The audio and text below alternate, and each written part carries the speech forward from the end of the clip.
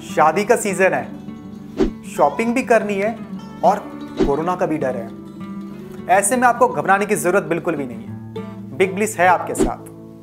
अभी डाउनलोड करें big bliss app और सिर्फ़ 10 मिनट में पाए अपना सारा सामान।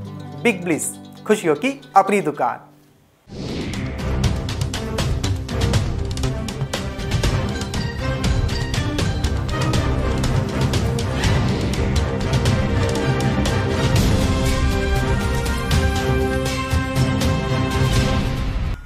भारत के निर्यात में हर महीने अच्छा उछाल देखने को मिल रहा है। भारत का व्यापारिक निर्यात मई 2022 में 20.55 फ़ीसदी बढ़कर 38.94 अरब डॉलर पर पहुँच गया, जबकि व्यापार घाटा बढ़कर रिकॉर्ड 24.29 अरब डॉलर के आंकड़े पर पहुँच गया। बुधवार को जारी सरकारी आंकड़ों से ये जानकारी मिली है।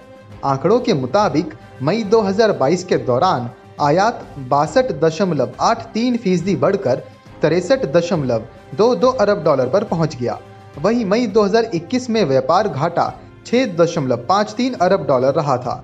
चालू वित्त वर्ष 2022-23 के अप्रैल मई महीने के दौरान संचयी निर्यात लगभग 25 फ़ीसदी बढ़कर अठहत्तर दशमलव सात दो अरब अमेरिकी डॉलर पर पहुँच गया। आपको बता दें कि अप्रैल मई 2022-23 में आयात पैंतालीस दशमलव चार दो फ़ीसदी बढ़कर एक चार एक अरब डॉलर हो गया है। इसके अलावा, अप्रैल महीने की बात करें तो पिछले महीने में भारत का वस्तुओं का निर्यात चौबीस दशमलव दो दो फ़ीसदी बढ़कर अड़तीस दशमलव एक नौ अरब डॉलर पर पहुँच गया। इस दौरान व्यापार घाटा, यानी कि ट्रेड डेफिसिट भी बढ़कर 20 अरब डॉलर हो गया था। पिछले महीने कच्चे तेल का आयात अप्रैल में इक्यासी दशमलव दो एक फ़ीसदी की बढ़ोतरी के साथ साढ़े उन्नीस अरब डॉलर पर जा पहुँचा था। कोयला कोख का आयात वित्त वर्ष 2022-23 के पहले महीने में उछलकर चार दशमलव आठ अरब डॉलर हो गया, जो एक साल पहले के इसी महीने में दो अरब डॉलर था।